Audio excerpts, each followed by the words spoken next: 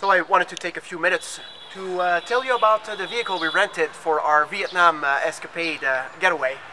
Uh, this is called um, the Honda Winner in Vietnam because it's uh, sold in other country under a different name. It's um, 150 uh, cc's and this is your typical Vietnamese vehicle because right here you've got this open space with a luggage rack that allows you to carry either like a large box or like uh, anything else uh, in between your legs. It um, it's an uh, electronic fuel injection, which means it starts every time you turn the key, and um, it has a six-speed uh, manual shifting with a clutch. It's not very popular around here. People prefer automatic for obvious reason. When you're stuck in the traffic and doing a lot of uh, stops and goes, I think automatic is much uh, suitable.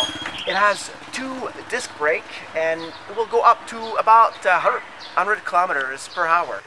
You can sit two people comfortably uh, on, on this thing. The, the seat is, is quite big.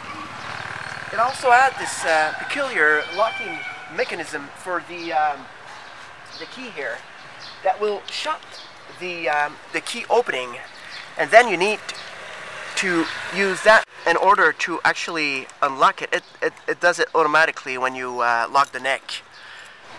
I'd like to uh, point out also that uh, instead of uh, adding um, a button for a, a kill switch for the engine, they actually have a way to turn the headlights on and off. I, I think it's a thing in some places in this country, not you know, having your headlight on during the day or night.